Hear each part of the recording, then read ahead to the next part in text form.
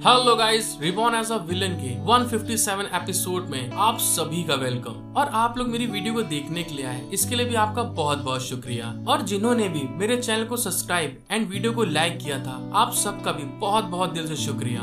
अब देखते हैं आगे। एपिसोड की स्टार्टिंग में दोस्त, हमको दिखाया जाता है एक मार्केट प्लेस में, जहाँ पे एक बाज़ार लगी होती है, और वहाँ पे सब लोग सामान खरीदने के लिए घूम रहे होते हैं। और तभी हमें एक शॉप दिखाई जाती है, जहाँ पे खूब ढेर सारे बच्चे उस शॉप के आगे खड़े होते हैं और उस शॉप में से आवाज़ आ रही होती है। फ्लैट ब्रेड, जाओ उसकी फ्लैट ब्रेड ले लो। उसके ये कहने के साथ में दिखाते हैं, जो बच्चे होते हैं, वहाँ पे टूट पड़े होते हैं बुरी तरह से। और तभी बच्चे आपस में चिल्लाते हुए कहते हैं, मिस, मुझे एक मीठी ब्रेड चाहिए। दूसरा कहता है, मैं भी, मुझे दो चाहिए। और तीसरा कहता है मेले को मेले को भी चाहिए। उन बच्चों को ऐसे चिल्लाते हुए देख के, जो मिस होती, बहुत ज़्यादा खुश हो जाती है और तभी कहती है अच्छा अच्छा ठीक है थोड़ा सा रुक जाओ। मैं तुम लोग को ब्रेड बारी बारी देती हूँ। और दोस्तों, मुझे आप लोग बताइए ये जो मिस है, इसका नाम कौन बताएगा? ये हमारे पुराने एपिसोड में भी आ चुकी, बहुत हॉट और सेक्सी दिखाई गई थी। और दोस्तों कमेंट में ज़रूर इसका नाम बताइएगा। जब बच्चे वहाँ पे ब्रेड ले लेते हैं, तभी वो मिस चिल्ला के कहती हैं जाओ, शिराओ और ब्रेड लेके आओ। यहाँ पे ब्रेड खत्म हो गई है। उस मिस के ये कहते ही, वो जो आदमी होता है, वो वहाँ पे ब्रेड का एक बड़ा सा टोकरा लेके हँसते हुए आगे बढ़ते हुए कहता है, मैं आ रहा हूँ। फ्लैट ब्रेड यहाँ पे है। और दिखाते हैं कि वो फ्लैट ब्रेड बहुत ज़्यादा ताजे होते हैं। उसमें से भाप निकल रही होती है। फिर झाव शराव स्माइल करते हुए कहता है हाँ हाँ मैं बस आ गया। उसको इतना ज़्यादा खुश देख के जो मिस होती है, वो भी स्माइल करने लगती है वो भी खुश हो जाती है। फिर दोस्तों, हमारा सीन शिफ्ट होके अपने चैन बुजिन पे आ जाता है और तभी वहाँ पे जेट की को कोई उछालते हुए कहता है, आपके कहने का मतलब है कि और दोस्तों, हमको पता चलता है, ये जो की उछाल रहा होता है, ये कोई और नहीं, अपना चैन बुजिन होता है और उस की को उछालते हुए कहता है, क्या ये ग्रीनवुड स्प्रिंग में एंटर करने की की है? और ये कहने के साथ में जिया गोजियान उस की को घूर के देखते हुए अपने मन में सोचता है, क्या इस खेल में सच में ऐसी जगह थी? लेकिन जब मैं ध्यान नहीं दे रहा था तो किसी ने इसे पहले ही खोल दिया था। जब वो इस की के बारे में सोच ही रहा होता है, तभी दिखाते हैं। बाई जॉकिंग को। बाई जॉकिंग वहाँ पे। एक पानी का टब लेके आगे बढ़ते हुए कहती है, अरे तुम बेवकूफ़, इतना ज़्यादा वहाँ पे मत बैठो। तुम आलसी आदमी, मेरी मदद करो यहाँ आके। बाई जॉकिंग को इतना चिल्लाता हुआ देख के जिया गोजियान शॉक्ड हो जाता है। और जिया गोजियान नोटंकी करता हुआ बाई जॉकिंग की तरफ़ आगे बढ़ते हुए कहता है, इतना लड़ाई झगड़ा सच में बहुत ज़्यादा थकाने वाला है, खासकर जब मुझे अपने दिमाग का यूज़ करना होता है। बाई जॉकिंग,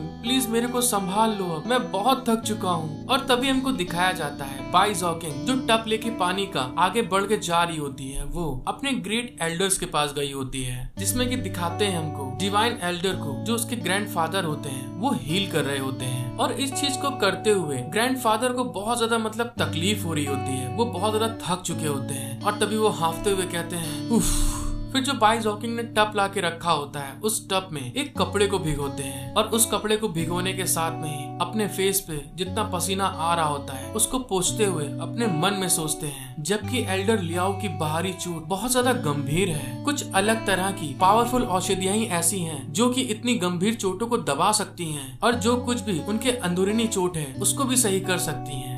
और फिर वो उस डार्क एसोसिएशन वाले बंदे के बारे में सोचते हैं। उसने डार्क शेडो एसोसिएशन के सभी पीछा करने वालों को मारने के लिए अपनी पावर का यूज़ किया और उसके पास इतनी अनमोल और कीमती पिल भी है, जिसने की एल्डर लियाओ को वहाँ पे गंभीर हालत से थोड़ा सही कर दिया। वो ये चीज़ सोच ही रहे होते हैं और सोचते हुए चैन वुजिन की तरफ़ देख रहे होते हैं। और दोस्तों, हमको दिखाया जाता है चैन वुजिन को। चैन वुजिन तो अपनी नाक में उंगली डाल के घुमा रहा होता है मज़े से।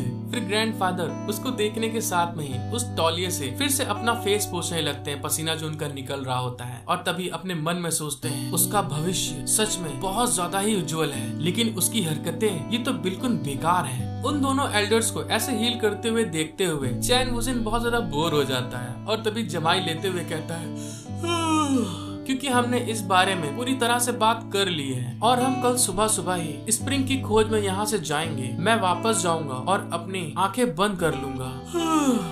और ये कहने के साथ में हमको दिखाया जाता है, चैन वुजिन। बाई जॉकी का हाथ पकड़ के अपनी तरफ़ घसीटते हुए कहता है, चलो, अब मेरे साथ चलो। उसको ऐसे घसीटते हुए देखकर बाई जॉकी एकदम शॉक्ड हो जाती है और तभी चैन वुजिन कहता है, मेरे साथ रूम में वापस आओ। जब उसने ये बात बोली होती दोस्तों, तभी दिखाते हैं, जो एल्डर्स होते हैं, उसकी ये बात सुनने के बाद में एकदम शॉक्ड हो जाते हैं। उनकी आँखें तो एकदम शॉक के मारे बाहर निकल आती है, क्योंकि चैन वुजन ने बाई जॉकिंग को रूम में ले जाने की बात करी होती है। उसकी ये बात सुनने के बाद में बाई जॉकिंग में बहुत ज़्यादा गुस्सा आ जाती है और गुस्से में चिड़चिड़ाते हुए कहती है चैन वुजिन ये तुम क्या कह रहे हो? और ये कहने के साथ में दोस्तों हमको दिखाया जाता है बाई जोकिंग का गुस्सा एकदम हाई पहुँच जाता है टॉप पे चला जाता है। और बाई जोकिंग चैन वुजिन के गाल पे एक जोरदार घोसा मारती है बुम और चैन वुजिन बेचारा पीछे की तरफ़ लुढ़कता जाता है। और घुसा मारने के साथ बाय जॉकिंग कहती है, तुमने सच में आज तो बेशर्मी की हद पार कर दी है, चैन वुजिन। और ये कहने के साथ में दोस्तों, हमारा सीन शिफ्ट हो जाता है। हमारा सीन शिफ्ट होने के साथ में रात का सीन में आ जाता है, जहाँ पे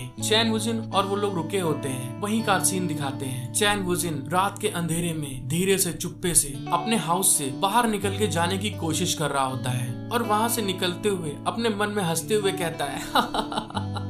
मैं सच में बहुत लक्की हूँ। मैं दूसरे लोगों से अधिक होशियार हूँ। और ये कहने के साथ में दोस्तों हमको दिखाया जाता है चैन वुजिन अपने रूम से वहीं से खिड़की से निकलता है और छती छत वहाँ पे फानते हुए उस जगह से जाते हुए अपने मन में सोचता है, अगर ऐसा नहीं होता, वरना अगर वे ठीक मेरे ऊपर हो तो मैं निश्चित रूप से आज रात को कदम नहीं उठा सकता था। और दोस्तों, ऐसे ही वो अपने मन में सोचते हुए आगे की ओर बढ़ता हुआ जा रहा होता है। और दोस्तों, हमको दिखाया जाता है जो हमारे दो तीन एपिसोड पहले जिस लड़ाई का एंड नहीं दिखाया जाता है, जहाँ पे ब्रोकन मून सेट की जो लड़की आई होती है चैन वुजिन के साथ में लड़ने के लिए चैन वुजिन वहाँ से भागता हुआ सीधे उसी के पास जा रहा होता है। और हमको दिखाते हैं चैन वुजिन ने अपने अर्थ एलिमेंट को यूज़ करते हुए उस ब्रोकन मून सेट की लड़की को वहाँ पे कैद कर दिया होता है। फिर चैन वुजिन उस लड़की के पास पहुँच के अपने हाथ में एक लकड़ी से उसके गाल पे टच करते हुए कहता है हे hey, पागल लड़की चलो अब उठ जाओ अभी तक क्यों सो रही हो? फिर कहता है अगर आप अपने बहादुर और चलाक सेक्ट के लीडर के पास लौटना चाहती हैं, तो इस तरह से मरने का नाटक करना बंद करो।